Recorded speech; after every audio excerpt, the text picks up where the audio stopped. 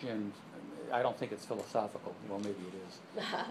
What happens if tomorrow somebody says, uh, the deal's off? We're done talking about this bridge, it isn't gonna happen.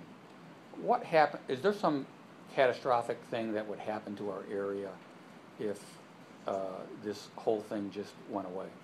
Well, who's, who's the somebody that says we're not going to build the project? Well, there's a, Since we're talking philosophically. well, there are a number of people who, who believe that the project should not be built.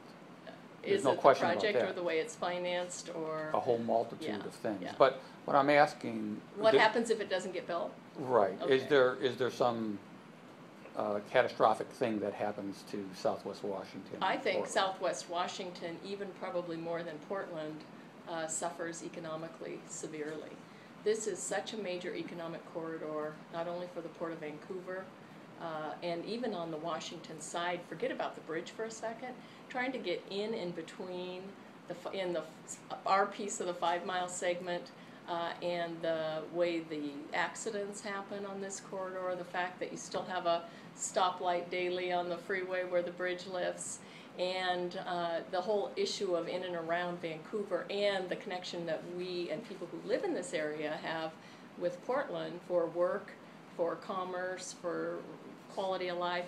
I think it's devastating, and that bridge on the northbound leg is uh, almost 100 years old, 1917. Do you think And there's a safety it's not going to hold up forever. So, so do you think that there's a safety issue involved? Oh, for sure. There's a safety issue at every interchange where we have short merges that, and the designs of those interchanges are outdated for the volumes of traffic that we have. So we have a lot of accidents in this area.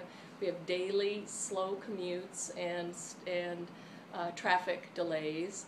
And we have two major international ports that are trying to operate in and through, plus not to mention all the folks that want to come from north of here to south of here, not just in, even in the Portland and Vancouver area.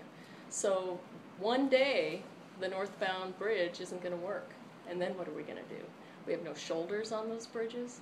We have the lift issue that we currently have, even on the water. Uh, what we hear from the Coast Guard is the navigable stream and the way the pil- pillars and, and foundations are now don't work very well for the future and for the larger bridges and the larger, deeper drafts. So it's a problem.